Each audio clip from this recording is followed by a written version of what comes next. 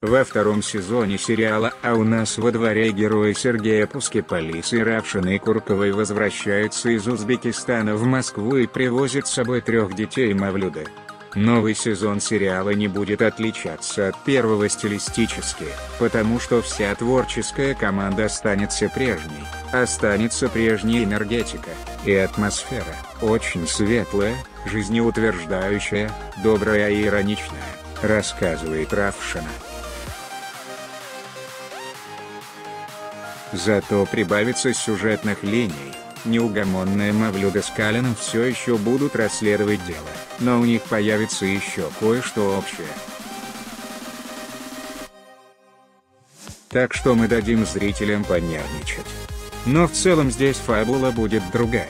Не просто расследование женщины-дворника и обаятельного следователя на преждевременной пенсии. Режиссер Ольга Музалева усложнила нашу историю.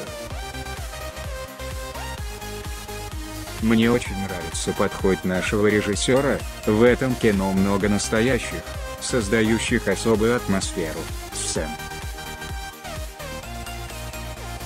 Они не всегда сюжетообразующие, и в обычных сериалах такие эпизоды либо не снимают, либо вырезают. Я никогда не скрывала, что обожаю эту роль, в образе Мавлюды очень много от моей бабушки.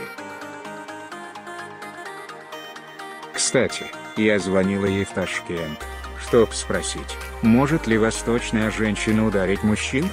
Также я многому учусь от своей героини, и безумно рада, что именно эта героиня так полюбилась зрителю.